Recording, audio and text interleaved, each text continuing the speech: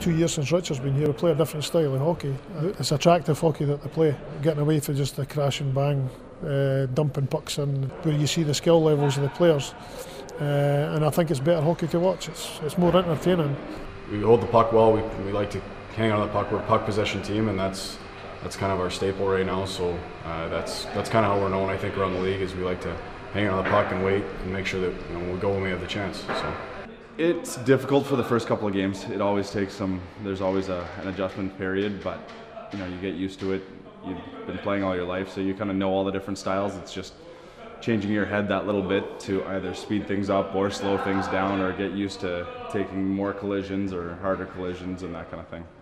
Um, yeah, I've been I've been playing the North American style my whole life, so coming here and learning to be a little bit more patient and. Uh, you know, I've still, I think I've still added my North American aspect of the game, but it's definitely been a little more European. You know, the quality and the speed of the hockey uh, has definitely risen. You know, uh, I think a lot of people judge the success of Edinburgh hockey by how dominant the Murrayfield Racers were in their day. You know, I think they, they assume that, you know, the, the racers at that time, you know, uh, must have been, you know, by the amount of cups the the one must have been a higher caliber team. Whereas in actual fact, you know, overall, the racers team of the past, you know, I'm 100% convinced would not match the capitals of today.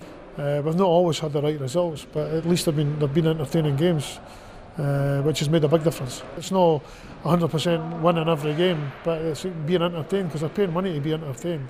And I think it's been way better this year, uh, the last two seasons since Richard's been here, uh, and bringing the, the Eastern Europeans and they play more uh, stylish hockey than, than uh, dump and chase, the North American style. So uh, it's been better to watch. And people from other clubs that I've spoken to over the years enjoy the style of hockey that the Capitals bring. We just didn't obviously have the physical side of the game.